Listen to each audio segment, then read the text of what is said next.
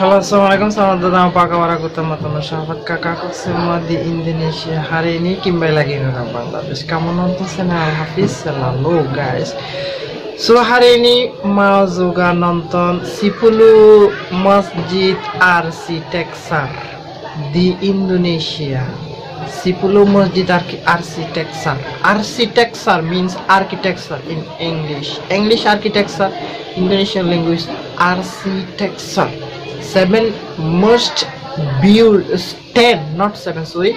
Seven ten most beautiful architectural. Masjid in Indonesia. Now we are going to review just it. This video search me Muhammad Fadil. Dear brothers thank you from Indonesia for searching me such a beautiful video. So keep watching dear brothers and from Indonesia everybody 10 most beautiful architectural masjid in Indonesia guys. Okay start. Indonesia too many beautiful mosques I also I I know guys. Assalamualaikum warahmatullahi wabarakatuh. Berwisata di Indonesia dengan tujuan wisata alam atau edukasi mungkin sudah sering teman-teman dengar ya guys Bagaimana jika kita mencoba berjalan-jalan ke masjid-masjid unik yang berada di seluruh wilayah Indonesia? Sebagai tempat beribadah umat muslim, tentu kita semua belum pernah mengunjungi atau mengetahui sama sekali tentang masjid-masjid paling unik di Indonesia ini. Keren banget loh guys, arsitektur bangunan masjid-masjid ini pasti buat teman-teman semua tertarik untuk segera mengunjunginya. Pengen tahu seperti apa bangunan masjid yang unik ini? Yuk langsung tonton videonya ya guys. Yang pertama ada Masjid An-Nurumi. Jika kamu dari Jogja tujuan ke Solo atau sebaliknya, nomor, nomor pasti satu akan melewati Masjid An-Nurumi. Masjid unik ini memiliki bentuk kubah yang nomor menyerupai satu ikon kota An-Nurumi Moskow. bagus Terletak di pinggir jalan, masjid ini tampak mencolok dengan ciri khas kubahnya yang berwarna-warni seperti lollipop dan bergaya arsitektur Rusia. Masjid An-Nurumi ini berada di Jalan Solo, Candisari, Kalasan, Yogyakarta. Meskipun ukurannya tidak terlalu besar untuk menampung banyak jamaah, masjid ini memberikan keteduhan bagi para pengendara untuk singgah istirahat sejenak atau menjalankan ibadah salat sebelum melanjutkan perjalanan.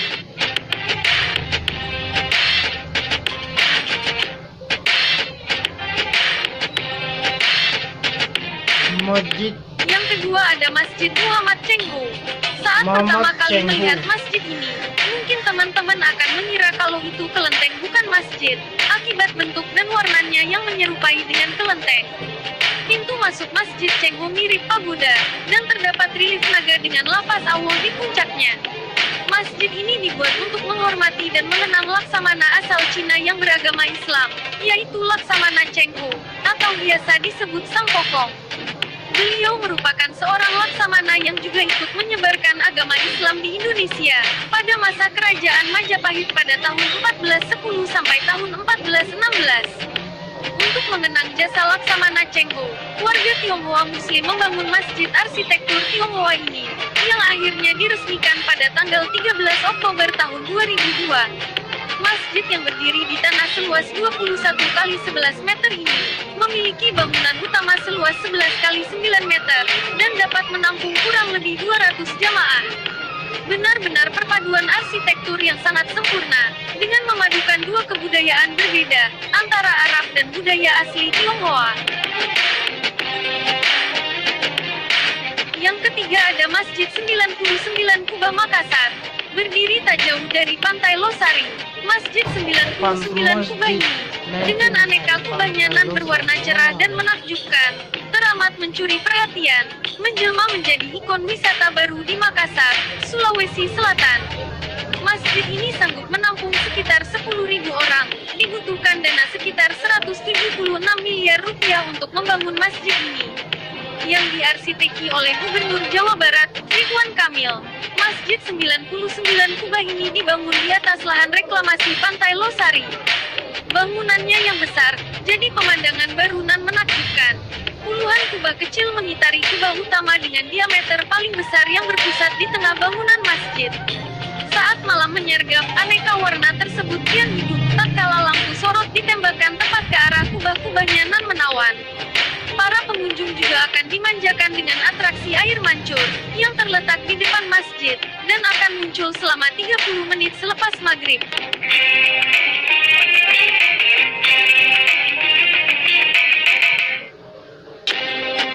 Yang keempat ada Masjid Kapal Semarang.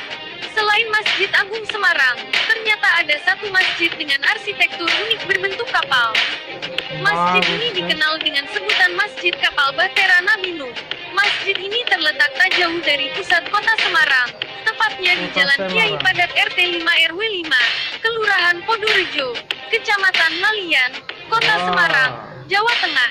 Like Masjid yang dibangun pada tahun 2015 ini sebenarnya bernama Masjid Safinatun Najah, yang sempat viral di media sosial setelah diunggah oleh netizen. Pengunjung yang datang akan takjub dengan keindahan masjid kapal ini. Tidak hanya itu, suasana sekitar masjid dikelilingi pemandangan yang indah, dengan hijaunya hamparan sawah dan area hutan yang menciptakan hawa sejuk. Masjid ini terdiri dari empat tingkatan. Bangunan tingkat pertama sebagai ruang pertemuan, bangunan tingkat kedua dan ketiga sebagai tempat ibadah, serta bangunan tingkat keempat sebagai tempat wisata untuk melihat pemandangan alam dari ketinggian.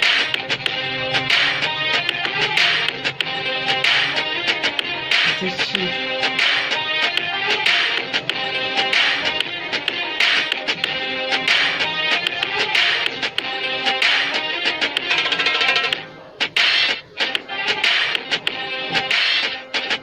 Yang kelima ada Masjid Haji Sunarto. Masjid ini berbentuk kapal pesiar yang dibangun di atas bukit kampus Masjid Politeknik Bumi Angkami. Semarang.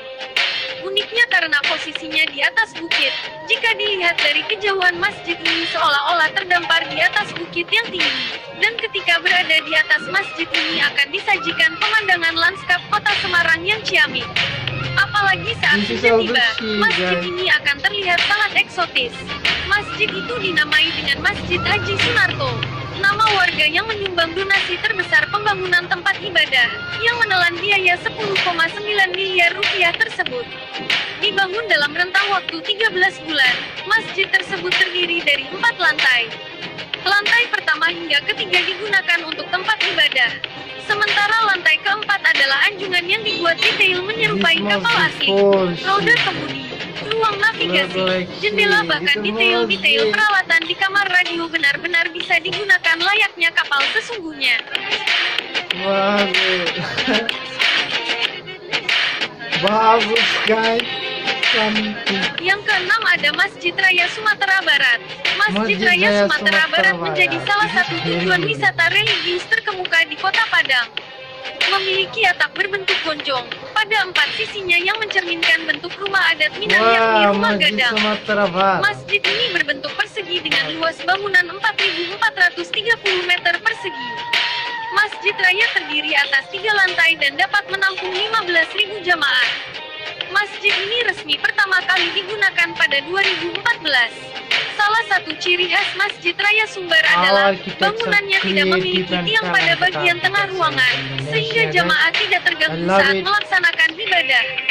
Masjid juga dilengkapi fasilitas lain Wow, seperti perkantoran Basnas Sumbar, beautiful Dewan masjid Indonesia dan LPTQ serta ruangan serbaguna yang mampu menampung sekitar 300 Wah, orang jika ada seminar. bagus. Masjid Raya Sumbar juga memiliki menara yang menjulang dengan ketinggian 85 Cantik, meter. cantik itu Menara tersebut hingga ketinggian 44 meter menggunakan lift, sehingga pengunjung bisa menikmati pemandangan kota Padang dari ketinggian. Untuk dinding Masjid Raya Sumbar berbentuk ukiran Minang, dengan rongga sehingga sirkulasi udara lancar dan terasa sejuk di dalamnya.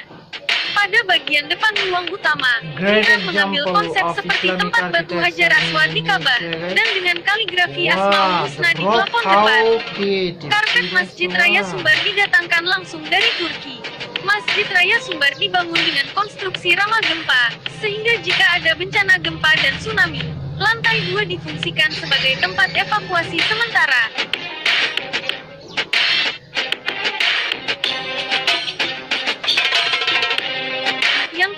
Ketujuh ada Masjid Askabul Kafi Perut Bumi Al Maghribi. Masjid pada umumnya berada di atas tanah atau bumi. Tapi, tidak dengan Masjid Askabul Kahfi Perut Bumi Al-Maghribi, yang berada di bawah permukaan Tanah Tuban, Jawa Timur. Masjid unik ini berada di dalam gua atau bisa disebut perut bumi. Sehingga, tidak memiliki menara yang menjulang tinggi ataupun kubah yang besar megah, yang bisa terlihat dari kejauhan. Ruangan dalam masjid benar-benar khas layaknya gua. Batu-batu stalaktit dan stalagmit menghias ruangan masjid. Ukiran-ukiran kaligrafi Islami yang biasanya berada di dinding masjid, di sini diukir di dinding gua. Keunikan lainnya yang dimiliki oleh bangunan masjid perut bumi tersebut ialah kubahnya yang sejajar dengan tanah. Tidak seperti masjid pada umumnya yang justru menarik perhatian jamaah dengan kubahnya yang besar dan megah. Menariknya dulu masjid ini adalah kawasan tempat pembuangan sampah, dan barulah diubah oleh Kiai Subcan Mubarok menjadi masjid yang seindah ini. Karena keunikannya, pada bulan Ramadan tak jarang peziarah lokal dan wisatawan asing datang mengunjungi masjid ini.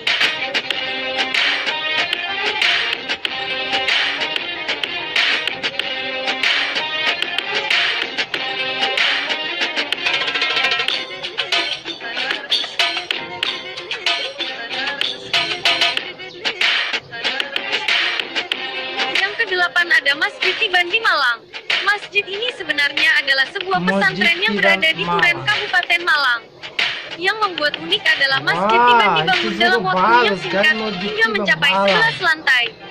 Ada kabar miring bahwa Semua masjid ini dibangun dengan bantuan jin. Karena orang-orang mengira masjid ini ada dengan sendirinya, tanpa ada yang membangun. Tapi sebenarnya masjid ini dibangun oleh santri dan jamaah pesantren. Wah, Untuk mencapai ke lantai how atas tidak perlu khawatir, Masjid karena di masjid ini Indonesia. juga disediakan lift dan ada banyak toko yang menjual berbagai macam oleh-oleh menarik yang yang dikelola para santri Masjid Tiban. Wah, Tidak hanya arsitekturnya yang unik di masjid ini terdapat sebuah Ah, kolam renang dan dilengkapi perahu yang dikhususkan untuk wisatawan anak. guys. Di dalam komplek pesantren ini juga terdapat beberapa jenis binatang, seperti monyet, kijang, Wah, ayam, gila. kelinci, dan lain-lain. Bisa digunakan untuk wisata bagus edukasi buat anak-anak.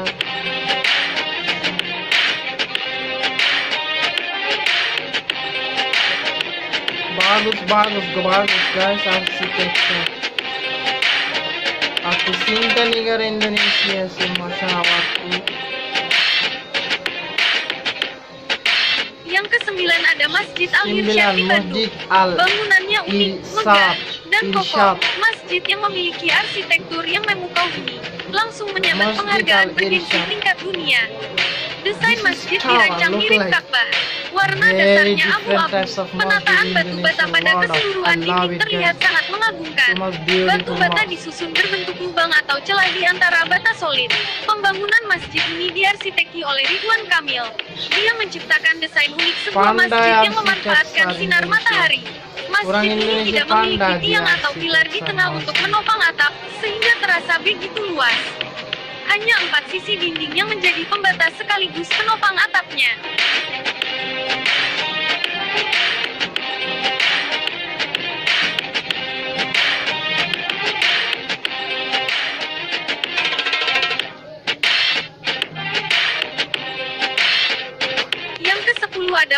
Al-Jabar Bandung. 10. Masjid ini akan menjadi Agung masjid yang besar dan megah dan bakal menjadi tujuan banyak Wow. wisatawan. Namanya Masjid Agung Al-Jabar. Adapun 10. nama Al-Jabar dipilih dari salah satu di antara 99 Asmaul Husna yang artinya Maha Gagah, Maha Kuasa.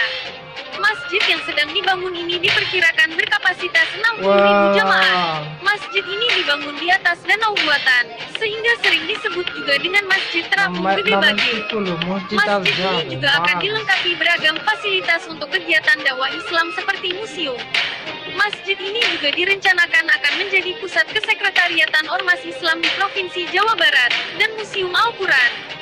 Yang mosque, dibangun paralel dengan pembangunan masjid juga memiliki fungsi pengendali banjir, sumber air, dan konservasi habitat.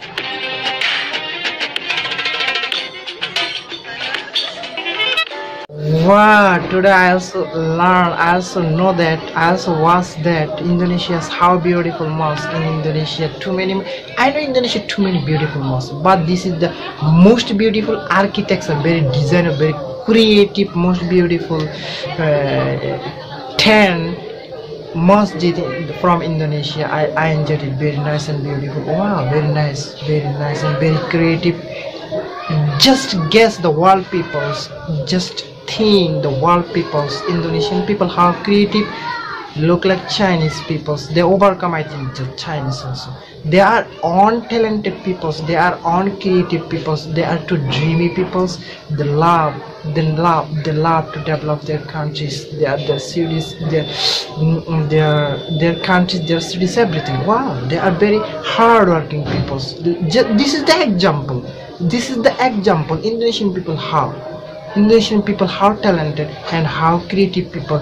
This video is the great example because you see the 10 beautiful mosques in Indonesia. How beautiful? This is absolutely the international quality for design and architecture guys. This this is the they are indonesian people's talented expression guys. I love it i love it i love it. It this video search me from indonesia the brothers muhammad fadil Thank you, dear brothers, Faz- Fadil, for suggesting me such beautiful videos. I enjoyed it. Thank you as to with my channels. And dear brothers and sisters from Indonesia, 70% viewers in my channels, not yet subscribe my channels. Please, I request you, dear regular viewers, if you can, you can subscribe my channels and turn on bell notification to enjoy all kinds of in all kinds of trendings and beautiful videos and developing and architecture customs and traditions about indonesia. You also can enjoy with me guys.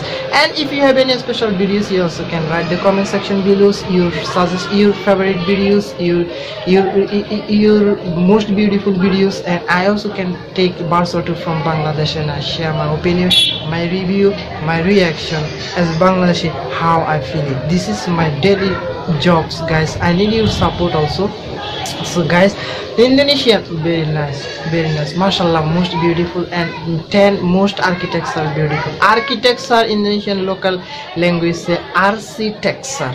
Architecture indonesian local people say architecture. Good good good good very good guys.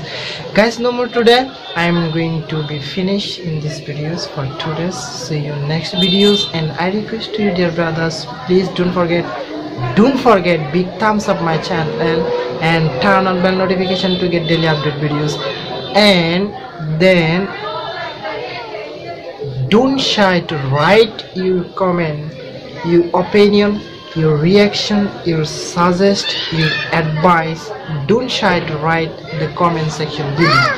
And ears make me appreciate also. Guys no more today. See you next video. Bye bye